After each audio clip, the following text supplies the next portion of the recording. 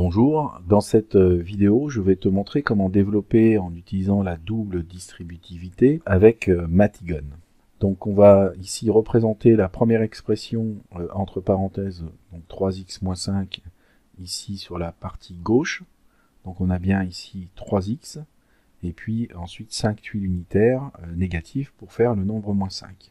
La deuxième parenthèse, donc le deuxième facteur ici, du produit est représenté par 2x plus 1 que l'on euh, représente euh, sous Matigone avec ici ces tuiles d'algèbre, donc 2x et puis plus une tuile unitaire. Donc on va faire la multiplication des deux, on va pouvoir faire la table de multiplication qui est ici. Et donc euh, x fois x, ça va nous donner x au carré. On va donc aller chercher la forme géométrique correspondant x au carré, qui est ici. Et on va la copier, puisque ici, bien sûr, on a exactement la même chose. On peut recopier également ici les deux carrés qui sont ici, puisqu'on va les retrouver en dessous, et également ici. Voilà.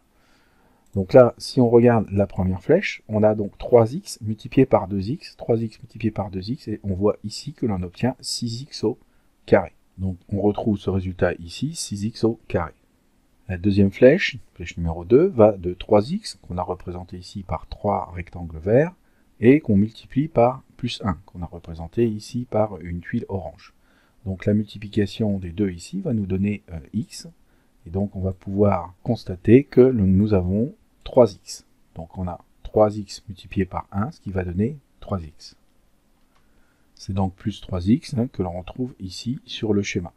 La troisième flèche part du nombre moins 5, que nous avons représenté ici donc avec Matigone en 5 tuiles unitaires négatives et puis par 2x, donc multiplie par 2x, qui sont représentés ici par les deux rectangles verts qui sont là. Donc on va multiplier des tuiles négatives par des tuiles positives, on va donc obtenir des résultats négatifs. Il va falloir donc aller chercher les tuiles euh, en x négatives. Puis les positionner. On aura la même chose sur chacune des lignes. Voilà, ce qui nous fait ici moins 5x, et à nouveau moins 5x, ici on obtient donc moins 10x. Donc la troisième flèche, moins 5 fois 2x, que l'on retrouve ici, nous donne moins 10x. Enfin, la dernière flèche, flèche numéro 4, part de moins 5, que l'on va multiplier par plus 1. Moins 5 est représenté ici, et plus 1 est représenté ici. Quand on multiplie les deux, on va donc retrouver ici une fois moins 5, c'est-à-dire moins 5 et on retrouve ce résultat ici sur la quatrième flèche écrite en langage mathématique.